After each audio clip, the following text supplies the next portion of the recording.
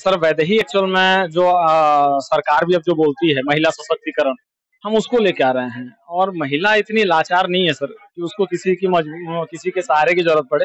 वो खुद सशक्त है और बस समाज का हम लोगों का आपस में आपका हमारा सबका देखने का नज़रिया सही होना चाहिए। नज़रिया सही रखें तो महिला भी सशक्त है और सब कुछ सही है। सर ये जब फ़िल्म मैंने लिखना स्टार्ट किया तो मैंने परिवार को सोच के ही लिखा था। ऐसी फ़िल्म जिसमें माँ बहन बाप बेटी सब एक साथ बैठ के देख सकें और उस फ़िल्म को दिखा के अपने बच्चों को बोल सके कि ये चीज़ें तुमको सीखनी चाहिए या यह चीज़ें तुमको ऑब्ज़र्व करनी चाहिए। अगर वो दो चार चीज़ अगर कोई पेरेंट्स फ़िल्म को देखने के बाद अपने बच्चों को नहीं बोल पा रहा है तो फिर फ़िल्म मेकिंग बेकार है विशाल दुबे जी हैं जो बॉलीवुड में रमेश सिप्पी के जी, जी के साथ काम कर चुके हैं जो रामायण में दीपिका बनी थी उनके साथ काम कर चुके हैं। आठ साल से स्ट्रगल कर रहे थे बॉम्बे में, बहुत अच्छा काम करते हैं। उनको लेके हम लाए हैं छत्तीसगढ़ में। उन्होंने छत्तीसगढ़ी में सराबोर नाम से एल्बम भी बनाया था। वो मेरे लीड में है, राम के कैरेक्टर में। वैदेही के कैरेक्टर में हमको, जो हमने लिखते समय जो फेस दिख रहा था, काफ़ी सर्च किए तो हमको उड़ीसा में मिली हो। जानकी का सर्च अभी जारी है, क्योंकि ट्राइंगल लव स्टोरी है। तो जानकी का सर्च जारी है, अभी नहीं मिला है। जहाँ तक मेरा प्रयास है कि मेरे छत्तीसगढ़ से मेरे लोकल जहाँ का मैं हूँ जहाँ की मेरी संस्कृति समाई हुई है वहाँ से लेना चाह रहा हूँ। वो सर्चिंग अभी जारी है। इससे पहले आ, मैं बेसिकली राइटर ही हूँ। तो जो भी क्या राइटिंग में ही किया। मैं जब दसवीं नौवीं पढ़ता था तब से लिखना स्टार्ट किया था। बच्चों के लिए भाषण कविताएँ लिखना स्टार्ट किया।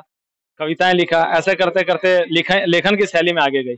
और आ, जी नहीं। आ, मैं लेखन में कोई फ़ेमस कविता नहीं क्योंकि मैं कविता प्रकाशित कभी नहीं किया।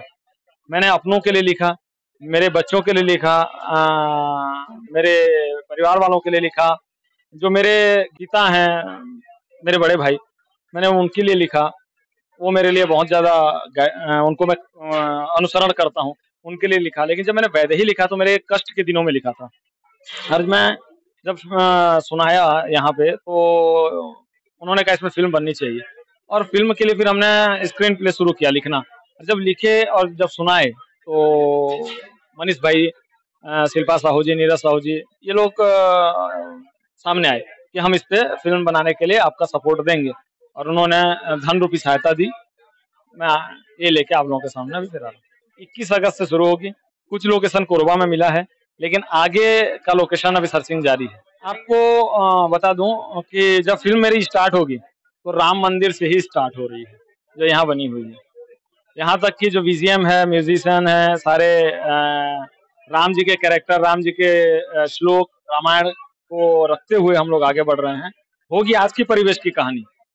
होगी आज की वैदे ही जीन्स पहनेगी। लेकिन एक कल्चर देके हम करेंगे, एक संस्कार देके करेंगे प्रेजेंटेशन जिसको बाप, बेटी, माँ, बेटा बैठ के देख सके। वैदेही जो हमारी फ़िल्म है, सिद्धेश्वरम मूवीज़ एंड एंटरटेनमेंट और ट्वेंटी फोर फ्रेम प्रोडक्शंस के बैनर तले यह फ़िल्म का निर्माण हो रहा है।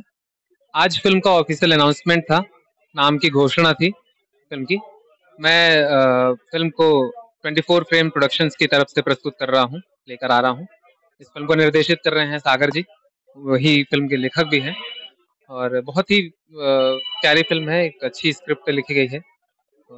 वो बतौर लेखक उन्होंने बहुत अच्छा एक समाज में आज महिलाओं की जो स्थिति है उस पर काफ़ी अच्छा काम किया है और फ़िल्म में हमको काफ़ी कुछ देखने को मिलेगा और शिक्षा पर भी है फ़िल्म।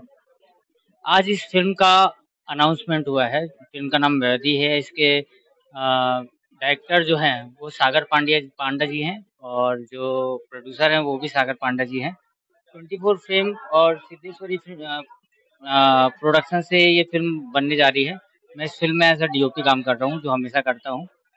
और बहुत ही अलग स्क्रिप्ट है। छत्तीसगढ़ी में मतलब एक तरीके से नई टाइप की स्क्रिप्ट आई है। छत्तीसगढ़ में बेसिकली ऐसी फ़िल्में बनती नहीं है नया प्रयास है और सागर जी ने ही लिखा है। बहुत अच्छा आ, मतलब बहुत अच्छी अच्छा लिखते हैं वो। इस फ़िल्म को भी बहुत अच्छा लिए हैं बहुत टाइम से। वो लगभग चार पाँच साल से इस स्क्रिप्ट में काम कर रहे हैं और बहुत अच्छी स्क्रिप्ट बनी है। तो हमारी कोशिश है कि उस तरीके से फ़िल्म भी हम बना पाएँ और मुझे बहुत कॉन्फिडेंस है कि ये फ़िल्म भी बहुत अच्छी बनेगी और बहुत अच्छा कुछ अपना नाम करेगी।